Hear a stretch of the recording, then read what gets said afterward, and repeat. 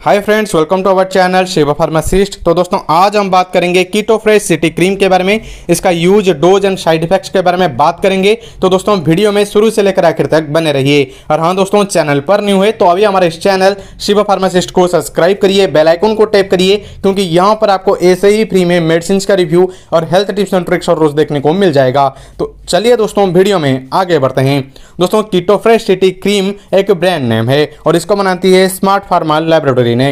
और बात करेंगे कीटो फ्रेश सिटी क्रीम में क्या क्या इंग्रेडिएंट मिलाया गया है। तो दोस्तों, इसमें से क्लोबेटासोल मिलाया गया है दोस्तों 0.05 परसेंट वेट बाई वेट और इसके साथ साथ जेंटामाइसिन मिलाया गया है 0.1 percent weight by weight clioquinol मिलाया गया है 1 percent weight by weight, ketoconazole यहाँ पर 2 परसेंट वेट बाई वेट, और इसके साथ साथ टोलोनाफ्टेट मिलाया गया है दोस्तों, इसमें 1 परसेंट वेट बाई वेट। बात करेंगे दोस्तों, ये जो कीटो सिटी क्रीम है, इसका प्राइस कितनी है? दोस्तों, अभी तो इसका M R P ninety rupees है, लेकिन ये मार्केट में आपको 80 से लेके 85 के अंदर आराम से मिल जाएगा। बात करेंगे अभी इसका यूज़ क्या है मतलब क्यों यूज़ किया जाता है? दोस्तों, जैसे कि ये एक स्किन इन्फेक्शन में और इसके साथ साथ जो फंगल इन्फेक्शन होता है दोस्तों इसको आ, सही करने के लिए कीटोफ्रेसिटी क्रीम का यूज़ किया जाता है। तो दोस्तों हर तरह का फंगल इन्फेक्शन जो कि स्किन के ऊपर होता है जैसे कि आ, किसी को दाद खाज खुजली हो गया और इसके साथ साथ दोस्तों किसी को प्राइवेट पार्ट में जो कि राशस वगैरह हो जाता है और स्किन इन्फेक्शन होता है उसको सही करने के लिए और बहुत ज़्यादा यूज़ किया जाता है दोस्तों अगर किसी को एथिलेट फूट हो गया। एथलेट फूट का मतलब यही है दोस्तों जो आपके पैरों के अंदर मतलब गलना लग जाता है उंगलियों के बीच में आपको फंगल इन्फेक्शन हो जाता है। तो दोस्तों, इसको भी ये सही करता है। और इसके साथ साथ दोस्तों वजाइनल थ्रश नाम का एक बीमारी है जो कि महिलाओं में होता है तो दोस्तों, उसको भी ये सही करता है। और इसके साथ साथ दोस्तों, ये स्ट्रेट रेस जो कि आपका पसीने के वजह से जो रैशेस वगैरह हो जाता है और इसमें से फंगल इन्फेक्शन बहुत तेज होता है तो दोस्तों, उसको भी ये सही करता है। तो ये क्या करता है दोस्तों, ये जो फंगल जो भी फंगस होता है दोस्तों, इसको ये मारने में मदद करता है और इसको सही करके आपका जो भी फंगल इन्फेक्शन है, उसको सही करता है दोस्तों।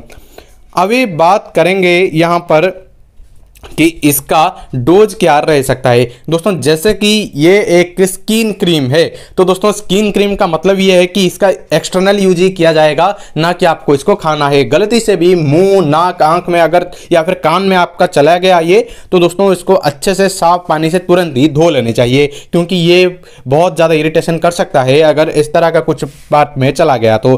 तो इसीलिए इसको खाना नहीं होता है, इसको सिर्फ़ एक्सटर्नल यूज़ किया जाता है और आपके जहाँ पर भी इन्फेक्शन हुआ है दोस्तों, वहाँ पर आपको लगाना होता है और इसको आप दिन में दो बार तक यूज़ कर सकते हो। बात करेंगे दोस्तों, अगर कोई छोटे बच्चे हैं तो गलती से भी इसका यूज़ ना करिएगा, क्योंकि यहाँ पर कुछ स्टेरॉइड भी है तो इसलिए ये प्रॉब्लम कर सकता है। और अगर कोई भी पेशेंट अगर इसका यूज़ करता है तो एक बार डॉक्टर से पूछ के ही इसका यूज़ करनी चाहिए अदरवाइज़ यहाँ पर साइड इफेक्ट्स हो सकता है। दोस्तों साइड इफेक्ट्स में क्या क्या होगा? वैसे साइड इफेक्ट्स इसका इतना ज़्यादा नहीं होता है, लेकिन अगर होता है तो दोस्तों इसमें आप जहाँ पर भी लगाए हो, उस अफेक्टेड एरिया में लालीपन आ जाना और इसके साथ साथ सूजन हो जाना और बहुत ज़्यादा दर्द होना, इस तरह का कुछ साइड इफेक्ट्स आपको देखने को मिल सकता है। और इस साइड इफेक्ट्स धीरे धीरे सही भी हो जाएगा तो इसको इतना मतलब घबराने की बात नहीं है, लेकिन छोटे बच्चों से इसको दूर ही रखना चाहिए। बात करेंगे दोस्तों यहाँ पर कि अगर कौन कौन ऐसे पेशेंट है जो इनको नहीं लेनी चाहिए। जैसे कि पहले से किसी को बहुत ज़्यादा ही फंगल इन्फेक्शन हुआ है और इसके साथ साथ दोस्तों यहाँ पर ये बहुत सारे ऐसे फंगल इन्फेक्शन वाला क्रीम भी यूज़ कर चुके हैं, लेकिन इसमें सही नहीं हुआ है और सेम कंपोजिशन है। किटोफ्रेश सिटी में जो जो कंपोजिशन में बताया, उस, इसी तरह का कंपोजिशन का कोई क्रीम यूज़ किए है और उसमें उनका फंगल इन्फेक्शन सही नहीं हुआ है। तो दोस्तों इसको यूज़ नहीं करनी चाहिए। चाहिए, क्योंकि कोई फ़ायदा नहीं होगा। तो इसके साथ साथ अगर मान लीजिए कि आपको कोई भी क्रीम लगाने से आपका त्वचा में बहुत ज़्यादा खुजली होने लगता है या फिर बहुत ज़्यादा रशेस हो जाता है तो दोस्तों उसको भी एक बार लेने से पहले डॉक्टर से पूछ लेनी चाहिए। अदरवाइज़ ये बहुत ही हद तक सेफ़ होता है, अगर आप एक अडल्ट हो तो। तो देखिए दोस्तों, सब कुछ तो हम बता दिए हैं। फिर भी अगर आपका कुछ डाउट रह गया है तो आप हमें नीचे कमेंट करके पूछ लेना, हम वो भी आपका क्लियर कर देंगे।